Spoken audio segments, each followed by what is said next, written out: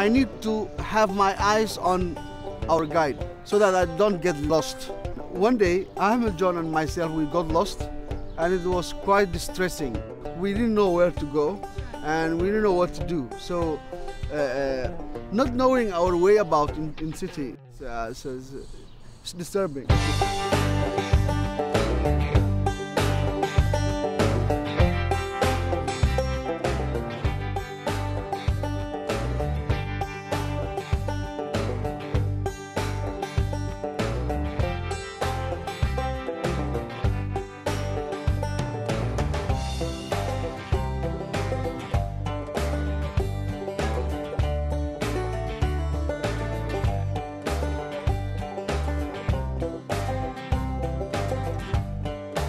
Since I came to Washington, I didn't wash my clothes because I didn't know how to use the ma- washing machine. I tried clockwise, anti-clockwise, pushing. I couldn't open the tap for the shower and the sink. You know that that how do you put it that Oh, there's a.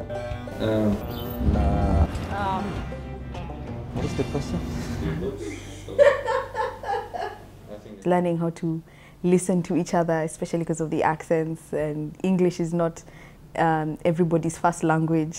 So it's kind of fun. I'm, I'm actually enjoying it, having to learn how to listen to other people. It's complicated for me to communicate with other peoples, but I'm trying to to do my best. This is not the first time for me to collaborate with other directors, uh, but uh, this is the huge. Uh, I mean, this is the biggest uh, number of uh, directors that uh, come together, uh, collaborate uh, ideas uh, together.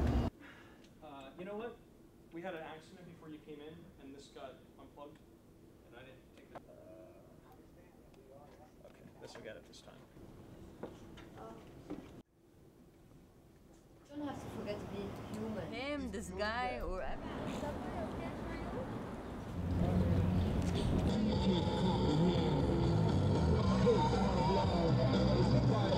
Uh, basically, making a film about this woman. She's, she's been living here for the past 27 years, protesting against the wars and nuclear proliferation. Proliferation, that's a pretty big word, yeah. Why this? I think because it's really easy to do and it's a very interesting subject, really. And because I mean, you're in the States, there's the White House, there's the war going on. If I get a month more, I probably would be doing something else entirely. But yeah, I mean, if you have three days, you do whatever research you can, you walk the city, you see what you can do, and this is what we ended up with. We started out to do a story on Rolling Thunder, this um, organization that's fighting for the rights of uh, people who've gone missing in action or prisoners of war. It's fascinating. I've never seen something like that. So we, we started out to do a story on them and what they're about.